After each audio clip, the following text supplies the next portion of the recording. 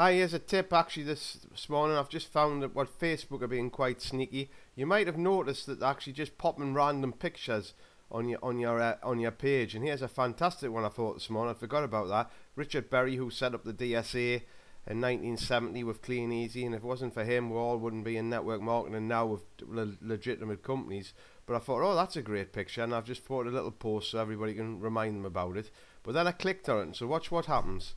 So I click on it and after a couple of seconds, once it pops up, an advert pops up, and I think, well, where's that come from? I never wanted an advert. So all the people clicking on there are now getting adverts for a complete load of rubbish.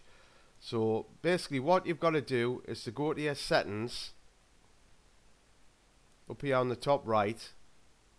If you click on account settings, take a second to open up, and then you've got Facebook ads on the left here if you just click on Facebook ads. And then what you've got to look at is these settings here. So at the bottom here if you just click on that these are the example of the ads.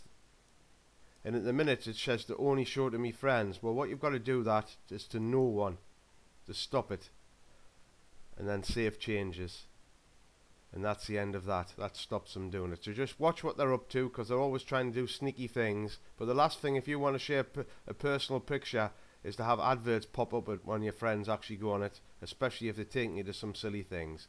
So have a great day and I'll speak to you soon.